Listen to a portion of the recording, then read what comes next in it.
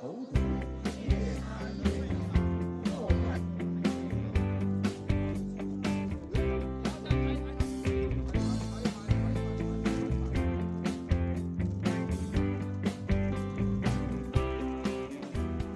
些鸟类呢，我们在放归的时候呢，也放安装了呃卫星追踪设备。那么这些设备呢，就是获得我们鸟类在野外对野外的一些活动的数据，那么为我们后期评估这些鸟类对于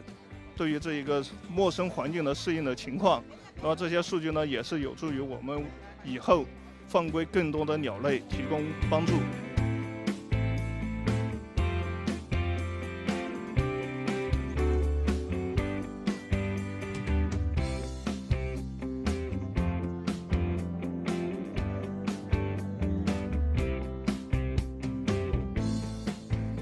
过去我们可能会把这些鸟类当做一个观赏鸟，作为一个笼养养在家里面。但是现在，呃，这些鸟类全部都被列入了国家二级保护野生动物名录。根据我们的刑法新的规定了，呃，哪怕这些鸟买回家养，那也是不呃不行的，呃，也是会涉嫌一个违反到呃